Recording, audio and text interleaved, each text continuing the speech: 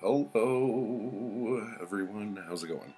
Um, today we are doing our Friday Reads video, which I was going to do earlier, but I wasn't sure if it was Friday or not. So I thought about it for a while and then couldn't figure it out on my own. And then I had to do the um, checking the calendar kind of shit. Um, I don't like like if there's something that I think I could figure out, the last thing I want to do is um just go straight to the calendar and see what's going on. Like I want to try to figure it out, you know. So, um I tried figuring it out and I think I did okay. But today's Friday, so I could do a Friday reads thing now. Um and after um, having my uh, there were some people who weren't quite thrilled with my short little review on Orwell's um, Down and Out in uh, Paris and London. I just want to reiterate I didn't hate the book. There were just things in it that felt icky. Um, and I, I never thought I would use the word icky in a book review, but I did it, so I'm kind of trying to stick by it now. So anyway, um, I've been talking to Bookish um, about um, Hemingway and um, uh, modernism and all sorts of other stuff, um, which has been just amazing. I'm loving it. So um, right now I'm listening to um, A Movable Feast. This is freaking awesome so far. Um, I know there are some. I don't want to say inconsistencies, but I don't know what else you would call it. Um, like where his truth is a little different than what maybe the real truth of everything is. So that is um, really fun right now. I am, what is that, like, I'm about a third of the way through it right now. Um, and it's basically just a book about um, Hemingway's time in Paris. Like, uh,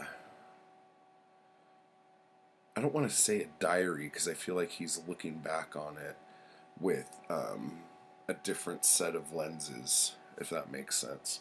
But um, I, I don't really know anything about the book other than that, but I'm loving it so far. And then um, I'm going through The Last Night of the Earth poems, which uh, came out. When did this come out? Was this 90? Uh, last night. 92. So this is just like a couple years. This was actually his last um, poetry book to come out before his death. Um, this is probably like his kind of poetry opus, like the the culmination of all of his years of work. Um, so this is just a fun read. I've read it once, and I'm reading it now for the second time. But I want to show you these because Zoe made these and they're really cool. So she made little um, library cards for books, for bookmarks, and I think they are so good for books that you are going to read multiple times. Like this book, I'm going to read probably a lot, and other Bukowski books I have, I'll read a lot. Um, uh, I'm trying to think who else. Like Burroughs or um, Robert E. Howard or H.P. Lovecraft, like things that you read over and over again. Um, having little bookmarks that are library cards, you could like write down like when you started it, when you finished it, um, the whole thing, and then just leave it in the book. And then the other thing that's good about this that um, will help those of you who, um, like me, have lent books to people and then have just completely forgotten who you lent those books to. You keep it and you put, oh, Steve Donahue. And you keep this. And so then, like, three months later, you're going through all of your library cards. And you're like, I never got that fucking book back from that Steve Donahue guy. I'm going to have to go after that dude. Um, so that's really cool. So um, I'm still not going to fucking lend my books out to any of you people. But um, if I did, I would be doing this. Um, and then that way, I would have like 30 more copies of Breakfast of Champions, which is a certain 29 year old's favorite book. But um, so again, that read along starts on the 21st. It is now the 14th, so I guess a week from today, we're going to start that read along. So, um, Breakfast of Champions, Kurt Vonnegut, if you haven't got it yet, go do it. Um, these are great.